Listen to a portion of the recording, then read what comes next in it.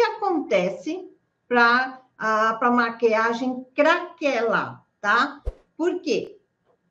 Vamos combinar. A gente já começa a amadurecer e a nossa pele, com o próprio amadurecimento, a pré-menopausa, tá? É, essa, essa, esses hormônios, né? Todos se modificando. Então, o que, que ocorre? A nossa pele, ao mesmo tempo que ela, que ela vai ficando mais opaca, ela vai perdendo aquele vício, sabe aquele brilho natural que a pele jovem tem? A gente vai perdendo ele, então fica uma pele opaca, se torna uma pele mais fina, mesmo, tanto faz se ela é seca, mista ou oleosa, ela se torna uma pele mais fina, e quem tem a pele seca, ela fica mais fina ainda, né?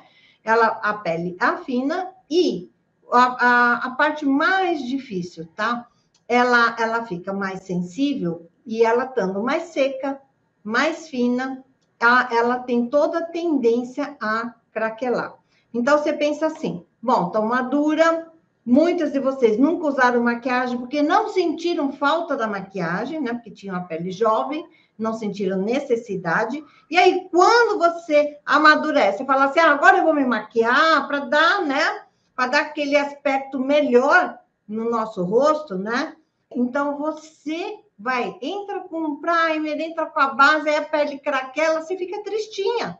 Você vai lá, opa, a ideia não era essa, a ideia não era ficar com a pele desse jeito, né?